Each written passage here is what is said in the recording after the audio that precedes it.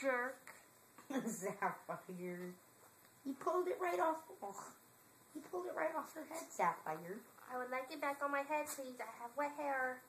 I have wet hair. It's wet. It's wet hair. Ooh. She's cranky if she doesn't get it. No, but I really need that because uh, Pull it away from her then.